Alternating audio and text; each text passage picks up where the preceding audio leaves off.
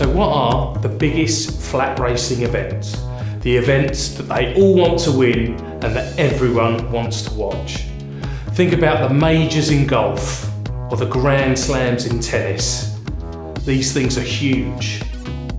For example, you've got the Derby, run since 1870. I think the one I backed in that one is still running. You've also got Royal Ascot. The Queen goes every year. And it's not just these shores as well that we have some of the biggest events. They take place over in France all the way to the US of A. It's a truly international sport.